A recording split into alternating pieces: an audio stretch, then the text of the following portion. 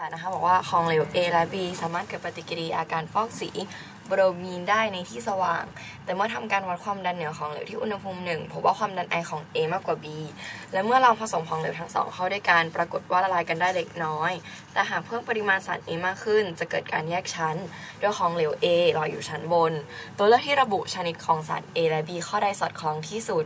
ข้อ1อะซิติกแอซิดกับโพรพานอล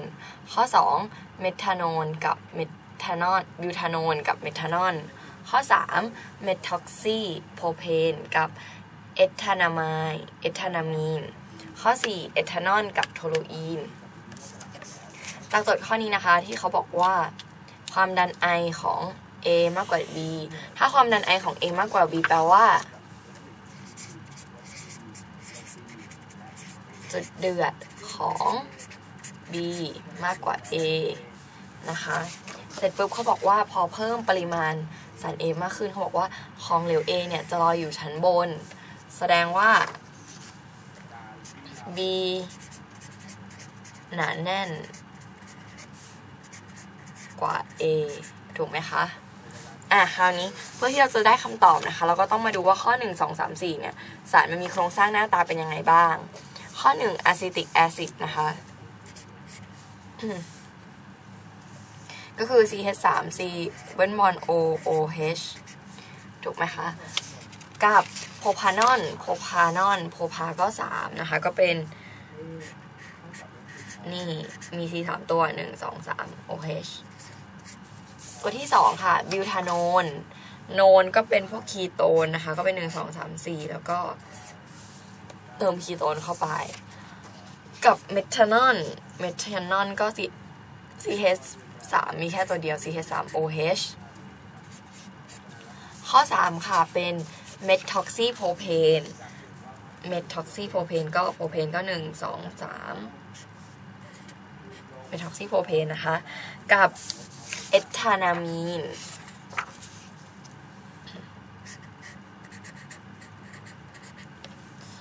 ข้อ 4 ค่ะ เป็นเอทานอลกับโทลูอีน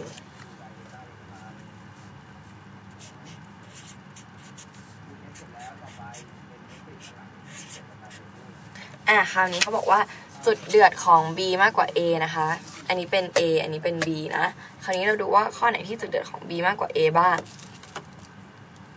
ข้อหนึ่งเนี่ยผิดเห็นเห็น เพราะว่าอันนี้เป็นคาร์บอกใช่ปะคะ อันนี้เป็นแอลกอฮอล์ดังนั้นอันไหนจะเดือดมากกว่า อันนี้จะเดือดมากกว่าอันนี้นะคะ จะได้ว่า คาร์บอกเนี่ย มี boiling point มากกว่า แอลกอฮอล์ค่ะ ส่วนข้อ 2 เป็นแอลกอฮอล์กับ เอ่อ คีโตน ปกติแล้วเนี่ยแอลกอฮอล์จะต้องมีจุดเดือดมากกว่าคีโตน แต่เนื่องจากอันนี้เนี่ยคีโตนมีถึง 4 ตัว มี 4 ถึง 4 ตัว แต่อันนี้มี 4 แค่ตัวเดียว เราเราจึงไม่สามารถฟันธงฉับไปได้เลยว่าตัวนี้จะมีจุดเดือดมากกว่าตัวนี้ เพราะอันนี้เนี่ยมีแค่ 1C อันนี้มีถึง 4C แปลว่ามวลอาจจะมีผลในการทำให้จุดเดือดของตัวนี้เนี่ยมากกว่าตัวนี้ก็ได้ จริงไหมคะ ก็ผ่านไปก่อน ข้อ 3 บอกว่าตัวนี้ต้องมีจุดเดือดมากกว่าใช่ไหมตัวนี้ก็มีขั้วแรงกว่าเป็นไฮโดรเจนบอลด้วย แต่อย่าลืมว่า B หนาแน่นกว่า A ซึ่งในที่นี้ดูตัวนี้เนี่ย กับตัวนี้ตัวไหนหนาแน่นกว่า ไม่ชัดเจนนะคะถึงเรื่องอันนี้ก็จะมีปัญหาเรื่องความหนาแน่น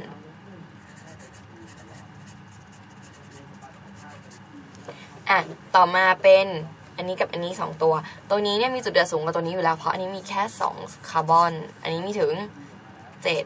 นะคะ มากกว่าเยอะ แล้วก็หนาแน่นกว่าด้วย เป็นพวกอะโรมาติกนะคะ อะคราวนี้เราก็เลยได้ว่า ข้อนี้ข้อที่เข้าท่าที่สุดก็จะเป็นข้อสีนั่นเองนะคะสำหรับข้อนี้พออ่านโจทย์เสร็จแล้วนะคะ พี่อยากจะให้น้องเนี่ยตีความได้ 2 จุด จุดแรกคือจุดเดือดของ B มากกว่า A เพราะว่าความดันไอของ A มากกว่า B เนื่องจากความดันไอกับจุดเดือดเนี่ยมันเป็นอะไรที่ แปรผกผันกัน ดังนั้นถ้าความดันไอของ A มากกว่า B แปลว่าจุดเดือดของ B มากกว่า A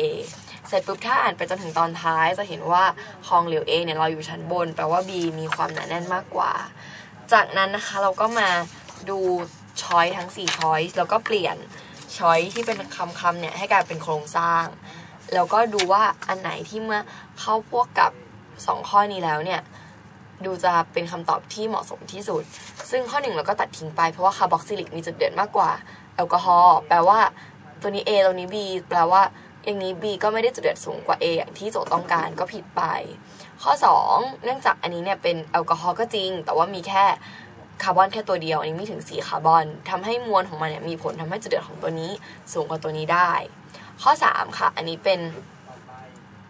เป็นพวกแบบสัตว์ประเภทไฮ เอ่อไฮโดร hydrogen bond เกิด hydrogen bond ได้เหมือนกันจุดเดือดสูง แต่ว่าก็มีปัญหาเรื่องความหนาแน่นที่มันไม่ชัดเจน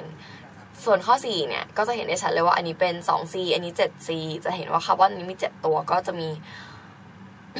ทำให้มีมวลโมเลกุลมากก็จะจุดเดือดสูงกว่าตัวนี้ แล้วก็มีความหนาแน่นที่มากกว่าด้วยค่ะ เพราะฉะนั้นคำตอบของข้อที่ 18 นะคะ ก็คือข้อที่ 4 นั่นเองโอเคนะคะ ข้อที่ 18 ตอบข้อ 4 ค่ะ